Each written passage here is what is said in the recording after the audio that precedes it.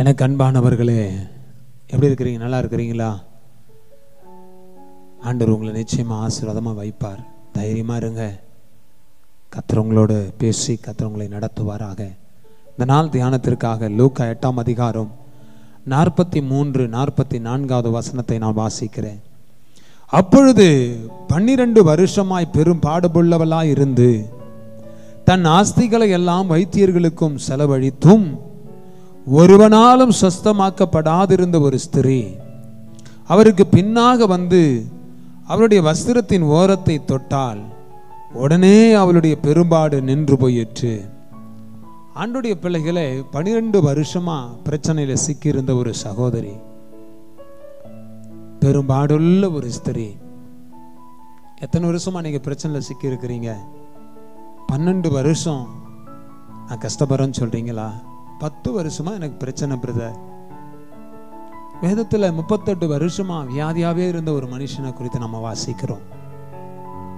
நீங்க எத்தனை வருஷமா பலவீனப்பட்டிருக்கிறீங்க? என் பணத்தெல்லாம் வைத்தியர்களுக்கு செலவு பண்ணி லட்ச லட்சமா செலவு பண்ணி கடங்கரனா போயிட்டேன். இனிமே நான் எழுமோன்ற நம்பிக்கை இல்லை. என் வியாதிக்காக லட்ச லட்சமா செலவாயிடுச்சு. டாக்டருக்கும் மெடிசனுக்கும் மாத்திரைக்கும் செலவு செய்து என்னுடைய வாழ்க்கையே போயிடுச்சு என் குடும்பமே போயிடுச்சு. இந்த மரண படுக்க இந்த வியாதியிலிருந்து என்னால் வெளியே வர முடியலையே. வைத்தியர்கள் எல்லாரும் கை விட்டுட்டாங்க அவங்களால முடிஞ்ச அளவுக்கு ட்ரீட்மெண்ட் கொடுத்துட்டாங்க. இன்னும் எனக்கு சுகம் இல்லையே. டாக்டருங்க சொல்லிட்டாங்க நீங்க டிஸ்சார்ஜ் பண்ணி வீட்டுக்கு போயிடுங்க. அவ்வளோதான் சொல்லிட்டாங்க பிரதர் நான் என்ன செய்யறதுன்னு தெரியலையே. யார் என்னை காப்பாற்றுவார்கள்? என்னுடைய ஆஸ்திகள் எல்லாம் விற்றுட்டேன் எல்லாத்தையும் ஆஸ்தி ஹாஸ்பிட்டலுக்கும் மாத்திரைக்கும் மெடிசனுக்கும் மந்திரத்துக்கும் பில்லி சூன்யத்திற்கும் பல காரியங்களுக்கு நான் செலவு செய்து என் குடும்பமே நடுத்தருவுக்கு வர வேண்டிய ஒரு நிலைமைக்கு நாங்கள் வந்துட்டோம். எல்லாத்தையும் நான் இழந்துட்டோன்னு சொல்றீங்களா? இங்க பன்னிரெண்டு வருஷமா பெரும் பாடுள்ள ஒரு ஸ்திரீ தன்னுடைய ஆஸ்திகளை எல்லாம் வைத்தியர்களுக்கு செலவழிச்சோம் ஒருவனாலும் சொஸ்தமாக்கப்படாத ஒரு ஸ்திரீ இருந்தார்.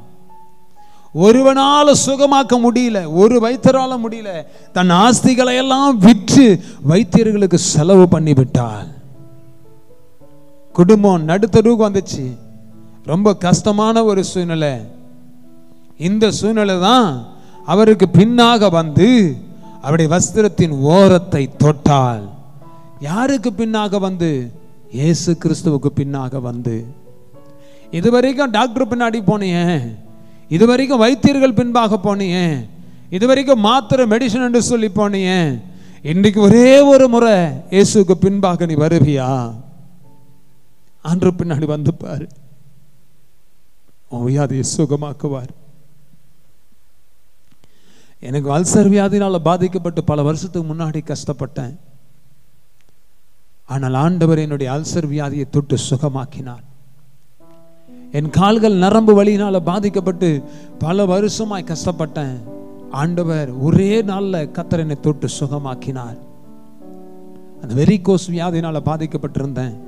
கத்தர் என்னை தொட்டு சுகமாக்கினார். ஆண்டுடைய பிள்ளைகளை உங்களுக்கு அற்புதங்களை அவர் செய்வார். எல்லாரால கைவிடப்பட்டிருந்தாலும் பயப்படாத உனக்கு அற்புதத்தை செய்வார். இன்றைக்கு உன்னுடைய படுக்கையை கத்தர் மாற்றுவார். இங்கு வசனம் சொல்லுகிறது ஓரத்தை தொட்டால் உடனே அவளுடைய பெரும்பாடு நின்று போயிற்று. இன்றைக்கு ஆண்டவரை தொடுபடி நீ வாஞ்சிக்கிறாயா? இன்னைக்கு ஆண்டவர் உங்களை அவர் தொடுவார். நீங்க அவரை தொடுங்க அவர் உங்களை தொடுவார்.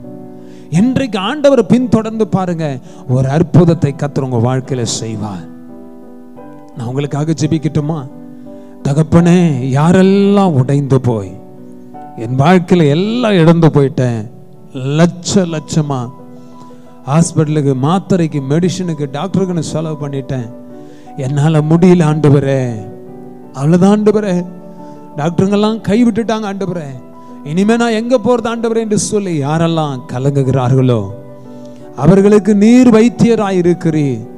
நானே உன் பரிகரியாகிய கர்த்தர் என்று சொன்னீரே. இப்பொழுதே இந்த மகள் மேல் அப்படி வல்லமை இறங்குவதாக.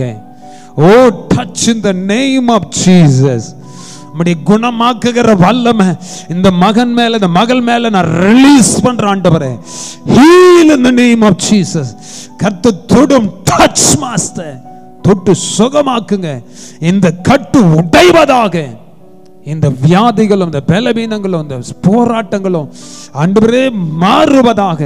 கத்த தொட்டு சுகமாக்குங்க ஆண்டவன் ஆண்டவரே heal in the name of Jesus touch master ரகாலா பௌஷி அந்தரா டாக்டருங்கெல்லாம் கைவிட்டுட்டாங்க. எவ்வளோ பணங்களை செலவு பண்ணிட்டேன். இன்னும் சுகம் அடையலையேன்னு சொல்ற முடிய பிள்ளைகளை கத்தர் கண்ணோக்கி பாரும் ஹாஸ்பிட்டல் வீடுன்னு அலைஞ்சு அலைஞ்சு அலைஞ்சு திரிஞ்சு தன் வாழ்நாளையே கழித்து விட்டார்களே. இன்றைக்கு அவருடைய படுக்கை மாறட்டும் அப்பா. இவருடைய நிலைமை மாறட்டும் அப்பா. இனி ஹாஸ்பிட்டல் பக்கமே போக கூடாது ஒரு பூரண சுகம் உண்டாவதாக. கத்து தொட்டுமுடி பிள்ளைகளை சுகப்படுத்தும். தேங்க்யூ லான் கத்தருடைய வல்லமை இறங்குகிறதற்காய் நன்றி. அற்புதத்தை செய்யுங்க வழி நடத்துங்க ஏசு கிறிஸ்துவின் நாமத்தினால ஜெபிக்கிறோம். நல்ல பிதாவே. ஆமே ஆமே கத்தர் உங்களை தொட்டிருக்கிறாரு அற்புதத்தை செய்வார். God bless you